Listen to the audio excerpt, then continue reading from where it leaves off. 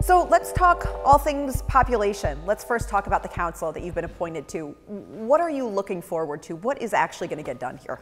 I'm excited that we'll have a chance to dive deep into population trends, not only in Michigan, but across the country, as we look to figuring out solutions to help put us on the map for uh, being one of the best places to live, grow, grow a family, and, uh, and have a job and work here. We've got fantastic, uh, you know, features for people to, uh, you know, have recreation and, and love being here and work here.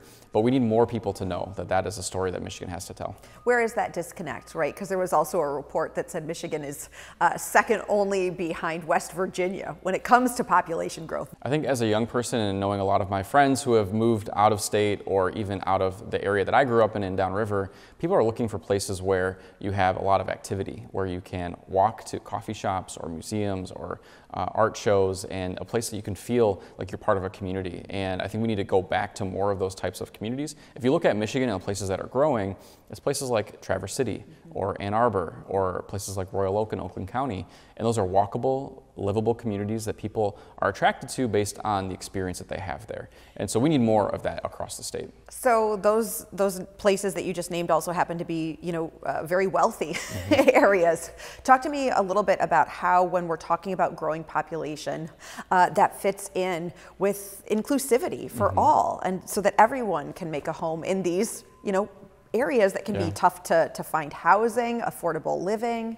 And that's actually a key piece that was brought up in our first population council meeting is that we want to ensure that any of the data that we are looking at and analyzing is really inclusive of every experience of all of our Michiganders. And so when we're talking about communities of color, some of that data is not always aggregated in a way that is uh, telling the full story. Let's, let's put it that way, where we're talking about Latino communities or black communities or any of our other diverse, beautiful uh, members of, of Michigan we want to ensure that every piece of the data is accurate and that we are inclusive for all of those voices.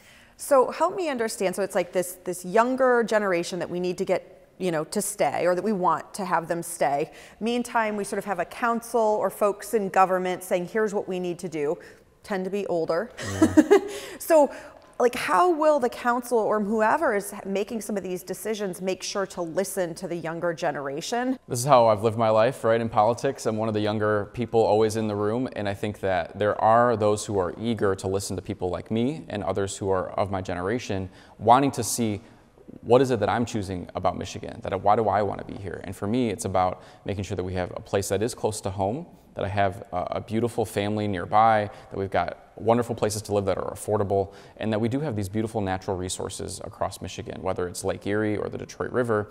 You are chair of the uh, pre-K through 12 education budget in the, the Senate. Talk to me a little bit about the conversations that you want to make sure are had at that table.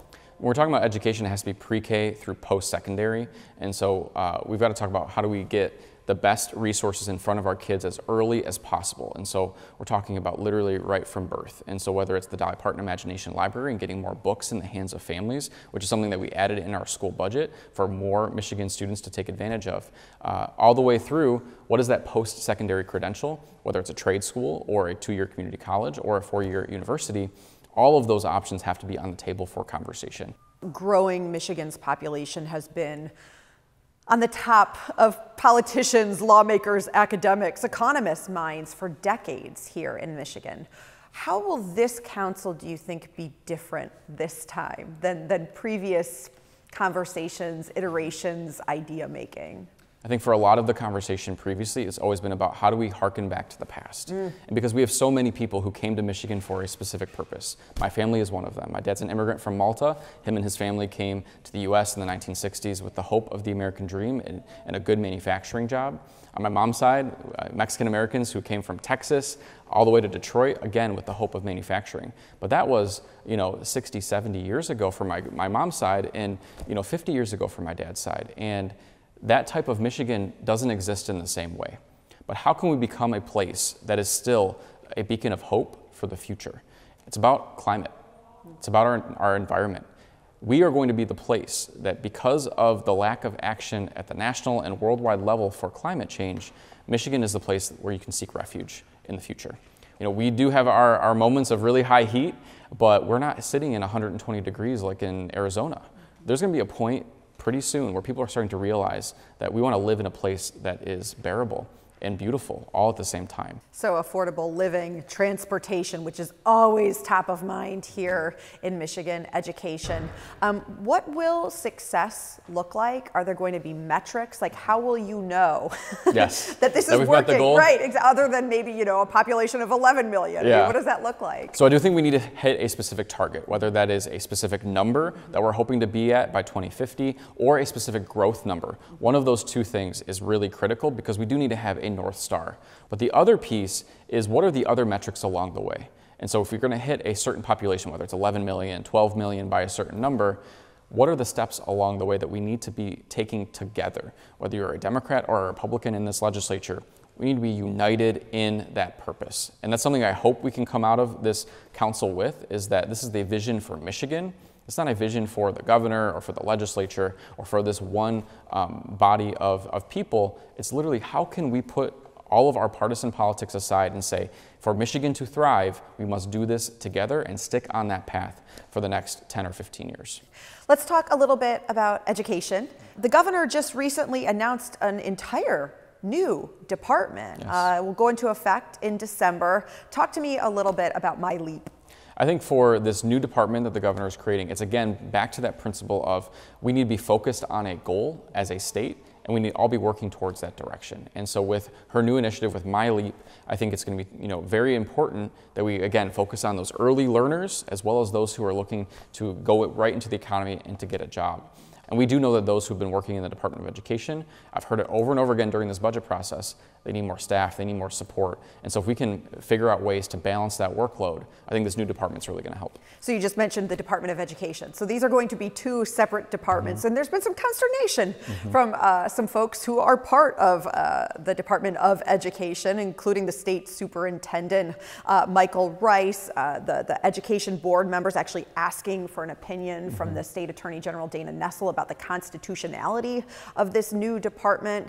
Um, is it not great that it's already, you know, with it with its uh, announcement that there's already a little controversy surrounding whether it's um, something that even Democrats are going to back? I think that there's always going to be uh, resistance to change, mm-hmm. no matter whether it's coming from a Democratic administration or a Republican administration. But this one component around education no matter the party of the governor, there has not been an ability for the governor to really lead in a direction unless they do some systemic departmental changes. And that's one way that I know that Governor Whitmer is trying to lead in this space. She has the constitutional authority to create her own departments and to reorganize departments as well.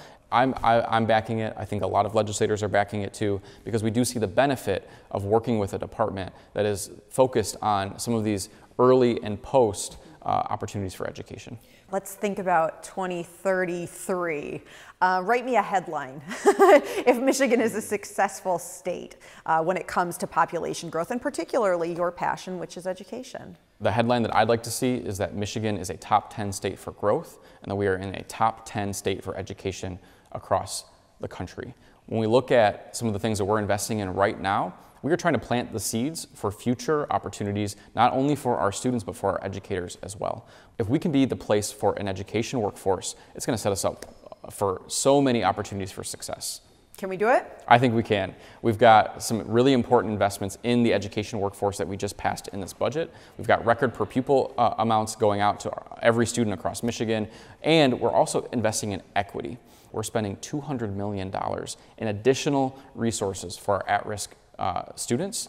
And that's also being added in with a new opportunity index so that if you are in a high concentration poverty district, you're going to get more money per pupil than those that don't have those exact needs. That I think is going to level the playing field, balance out some of these inequities in our system, and actually help us address these challenges. Hopefully, for that 2033 headline to say, come to Michigan, be the place that you want to raise your family, be the place that you want to learn and grow and work, and that is something that I think we can all be proud of.